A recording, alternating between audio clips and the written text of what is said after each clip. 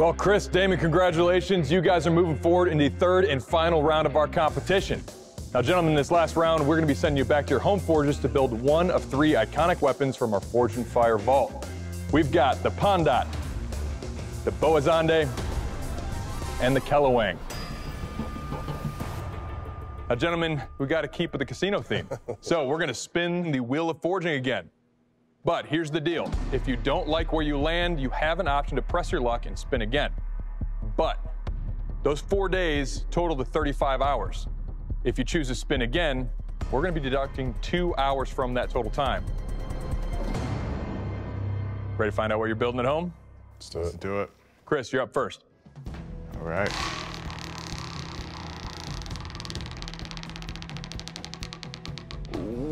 Ooh, all right, Chris, you landed on the Pandat. How you feeling?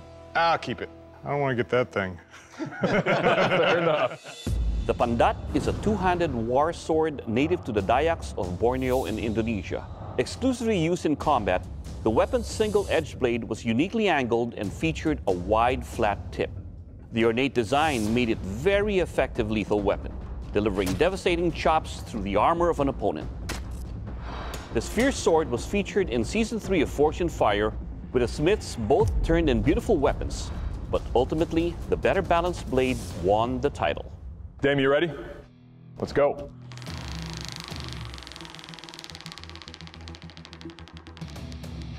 The Kelawang. So of course I get the Kelawang.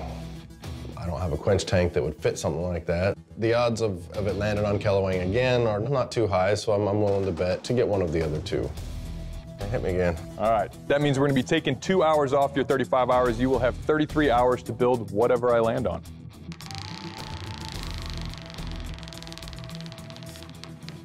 The Boazande, you happy with it? Oh yeah. The Boasande sword is a Central African weapon that features a long pierced ricasso and a wide leaf-shaped blade that tapers to a steep, sharp tip. The razor sharp edges were designed to deliver devastating stabs and slashes into an enemy. The Boasande was previously seen in Season 7 of Forged in Fire, where, while both smiths faced challenges achieving the width of this weapon, victory went to the lighter, more comfortable sword. All right, Chris, you're going to have 35 hours to build your Pandat. Damon, you've got 33 hours to build your Boazande. Gentlemen, don't forget, these are high stakes. The house is putting up $10,000 in the title of Forged in Fire champion for the winner. Good luck. We'll see you in four days. Good luck, man. Good. My name is Chris Gardner. I am 37 years old from Las Vegas, Nevada. I'm doing a sword with 327 layer billet. Looks like I have enough steel. I'm pretty happy with how it's going. It's looking pretty good so far. Something goes wrong with the quench. That could basically destroy my blade. Planning for the worst, hoping for the best. All right, here we go. I get it over to the quench tank and it comes out straight. That's good. It's hard. This blade is a little awkward. It's a weird shape. I need a specific edge on this thing that's gonna hold up during these tests and still stay sharp. Damon, he's an excellent smith. Can't wait to see what he brings, but you know, I hope mine's just a, a little bit better.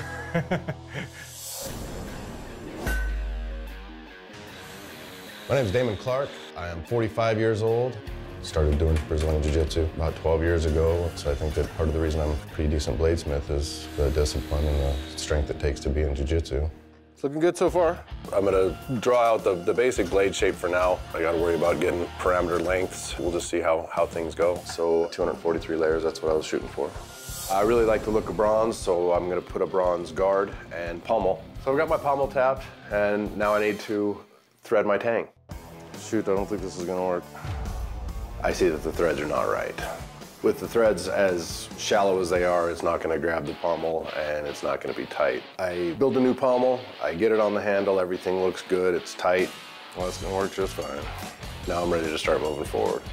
It looks great, the, the pattern's really showing really well. So now it's time to get the final edge on it and get this sucker sharp.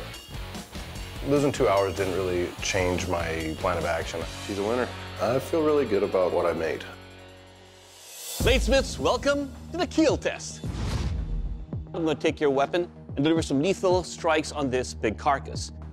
Because these are two different kinds of weapons with different designs, they may cut differently or perform differently, but overall, the feeling and the way I wield them should be the same. Chris, you're up first. Ready for this? Yeah, let's do it.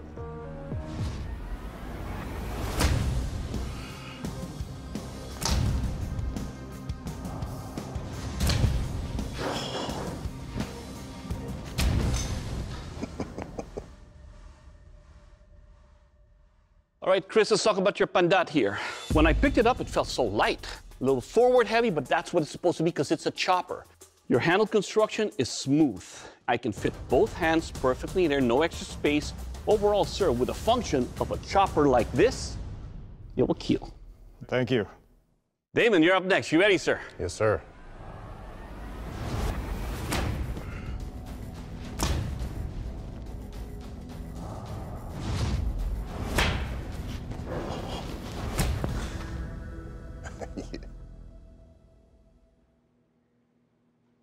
Right, Damon, let's talk about your Boa Zonde here.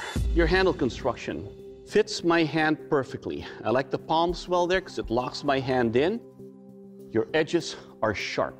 They cut deeply and thrust nicely into this carcass. Overall, sir, your Boa Zonde, it will keel. Welcome to our strength test, the porcelain pot chop.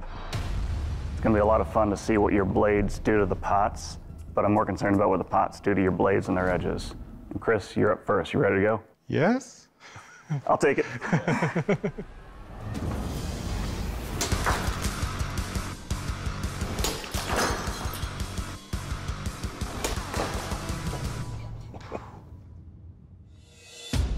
Chris, you survived. Good job.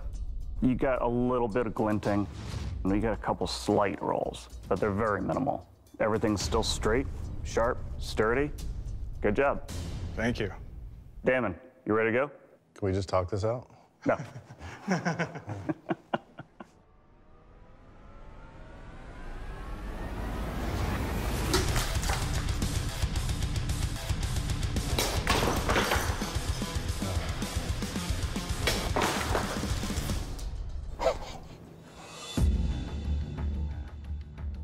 Damon, you survived. Good job.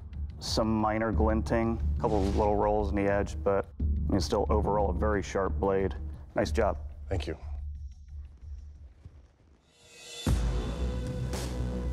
All right, bladesmiths, this is a sharpness test, the vine slice.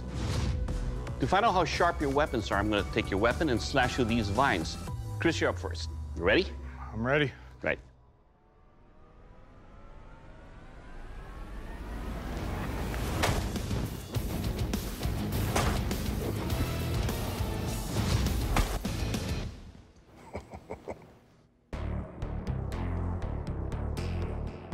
All right, Chris, let's talk about your pandat here.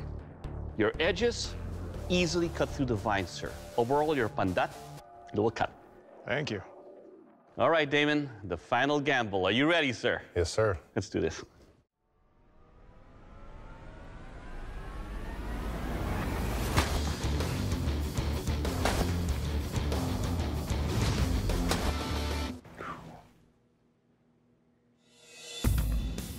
All right, Damon, the edges are sharp and cut cleanly through the vines. Your weapon too, sir. It will cut. Thank you. Well, well, well.